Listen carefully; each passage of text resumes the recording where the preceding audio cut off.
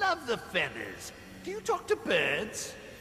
A ludicrous suggestion, Jester. Really?